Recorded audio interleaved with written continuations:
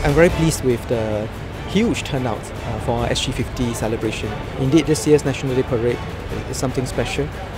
But I would like to also add that actually, when I look at the many different events, each and every one of them is special and meaningful in its own way.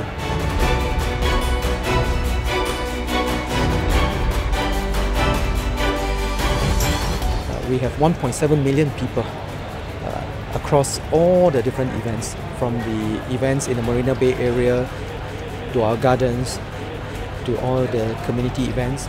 We have both uh, events which are organized by agencies as well as many ground up events. They have done it in a very creative way, uh, whether it's through food, through arts, through music, through family events. I think that uh, extra public holiday signals to Singaporeans that you know this is a very special weekend, and I'm very glad that many Singaporeans decided that this is a meaningful way to, to spend this. There are still many more events to come, and that's where I think I hope that many Singaporeans will come together to express our hopes and aspirations for the future.